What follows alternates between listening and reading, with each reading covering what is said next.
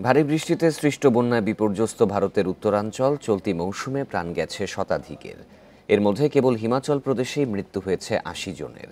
এর মধ্যে পাঁচ দিনেই রাজ্যে প্রাণ গেছে একত্রিশ জনের।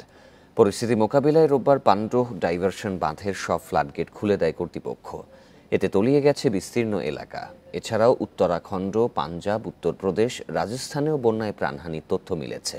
প্লাবিত হয়েছে এসব রাজ্যের বেশিরভাগ নদী নালা অনেক অবকাঠামো ক্ষতিগ্রস্ত হওয়ায় ব্যাহত হচ্ছে জরুরি পরিষেবা।